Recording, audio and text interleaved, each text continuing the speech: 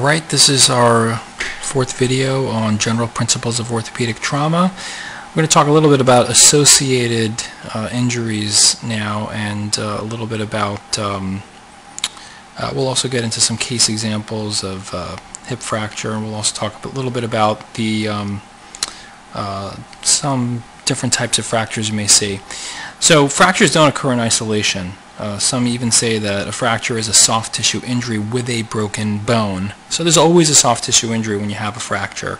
Uh, neurovascular injury is not always obvious. It requires careful and repeated examination. Um, so when you see a patient, uh, you need to make sure that you rule out a vascular injury, uh, at least uh, by starting with these uh, physical examination.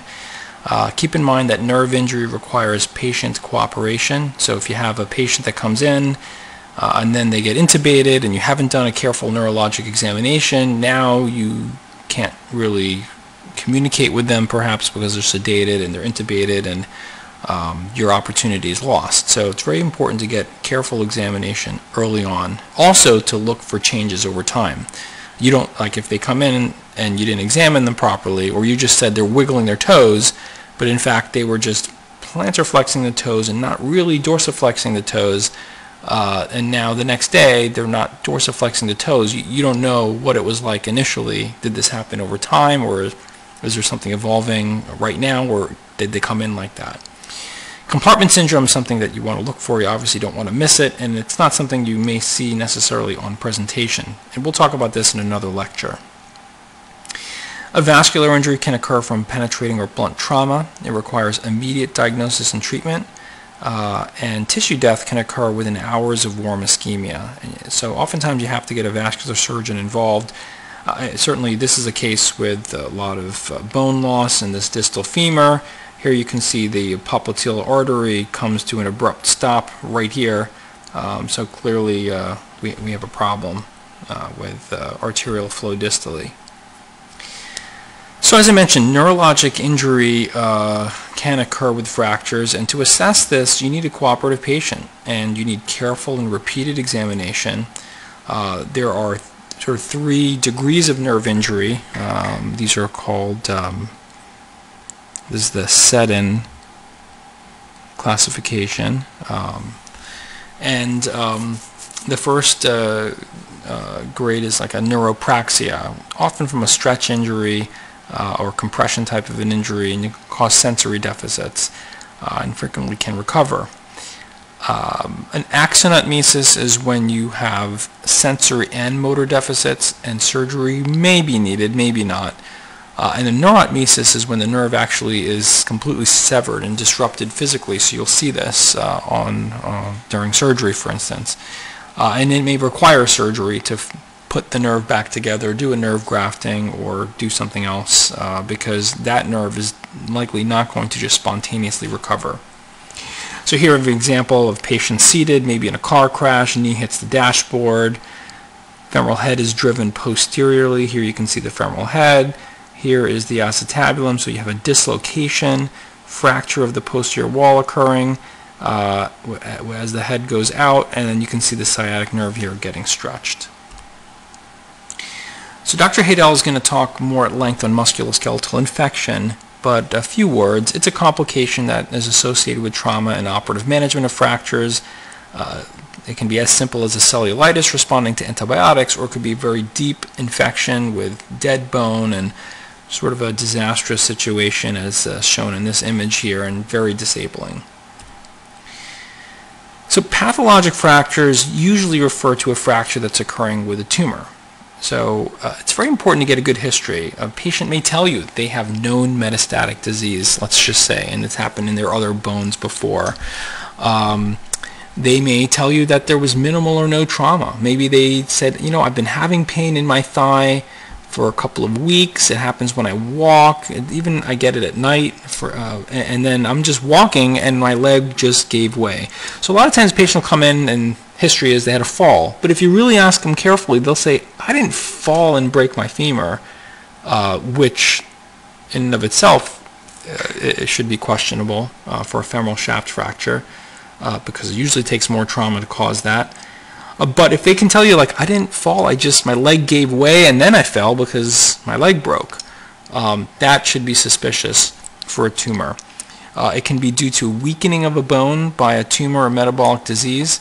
Uh, just a word about osteoporotic fractures. Technically, some will refer to them as pathologic fractures because the bone is abnormal, but most osteoporotic fractures occur uh, in the setting of some type of low energy trauma, unless there's very severe osteoporosis, in which case a fracture can occur without trauma. And here in this x-ray you can see there's this lesion causing thinning of that medial cortex, uh, a little scalloping of the lateral cortex, and now there's a fracture that's occurred here. Um, so this is an example of a pathologic femoral shaft fracture. It could be due to a known metastatic disease, unknown metastatic disease, or a primary bone tumor.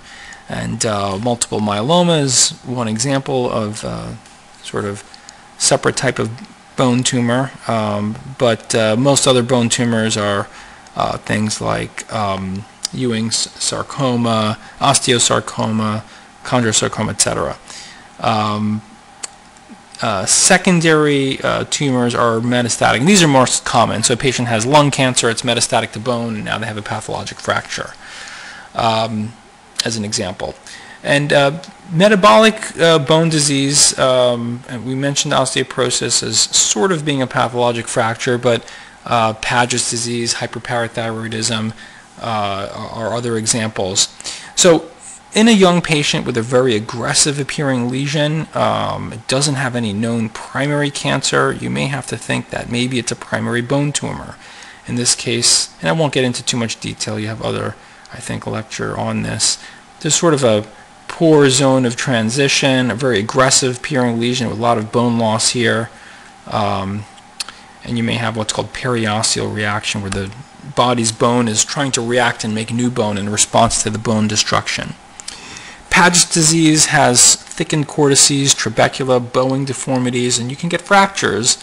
And the fractures, like shown here, can have, because of the, the bone metabolic disease, they can have a difficult time healing as well.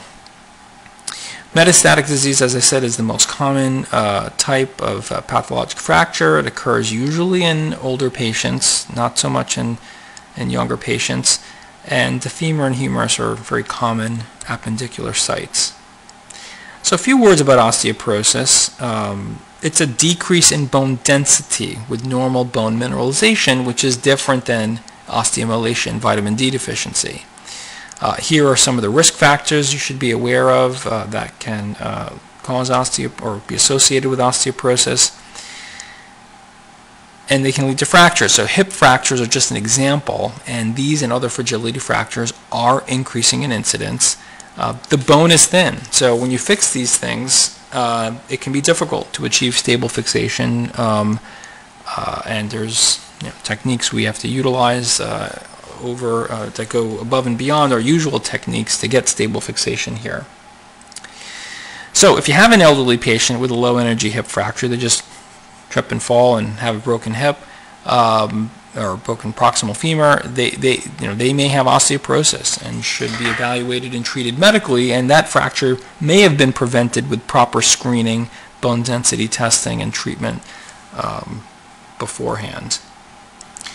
So a few words about hip fractures. Uh, when we say hip fracture, usually you're referring to a proximal femur fracture and not necessarily the acetabulum, although that's part of the hip joint. And those are the three types we'll go, we'll go, we'll go into a little bit. So a femoral neck fracture is a, an intracapsular fracture. So normally the capsule of the hip joint um, comes here. So any fracture that occurs in this area, so here it, they're, they're showing that there's a non-displaced fracture line here. It's intracapsular, right? So here's another example. This one's sort of an impacted fracture. Okay, and then you have down here, these two cases are displaced. These are displaced fractures. So um, because it's intracapsular, there's a lot of joint fluid. Callus has a hard time setting up shop, that is the new bone formation. Um, so healing can be slow. Uh, the blood supply to the femoral head is at risk, especially with displaced fractures, as is shown here. I uh, won't get into too much of the anatomy as to why that is, but it can lead to osteonecrosis, so the bone can die. So, um, I'll sort of jump ahead a little bit. So in those cases where you're worried that the bone is going to die and you have an elderly patient, you may want to consider just tossing that head in the trash and basically doing a joint replacement, either a partial or hemi joint replacement where you just put a new ball in or a total hip replacement where there's sort of this socket put in and this this ball on top of the metal stem. Um, if you have a fracture that's impacted or non-displaced, you may just want to fix it and not necessarily replace it by one of these techniques. Or if you have a young patient, 20-something year old patient with a displaced femoral neck fracture, you may not want to replace it because as you'll see in the hip and knee lecture, joint replacement is really not for the young uh, patients uh, if it can be avoided. So in, these, in those cases, you do your best job to fix it and uh, hope that you don't get osteonecrosis. So intertrochanteric fractures are extracapsular, so they actually tend to bleed more. That, that blood is not contained uh, like in the joint capsule, so it can actually bleed a lot. Uh, it's the most common type of fracture. This is actually an intact example here, but here you can see fracture line comes up this way, and you can see the second fragment, which is shortened and overlapped a little bit, is here. So you sort of have this fracture that goes from the greater to the lesser troch in this direction, this sort of obliquity, and that's an intertrochanteric fracture. It's not replaced, it's treated by fixing it by one of these type of methods, some type of plate and screw or intramedullary rod and screws. So I'm going to pause there and uh, we're going to talk about uh, non-unions in the, in the next video, when fractures don't heal.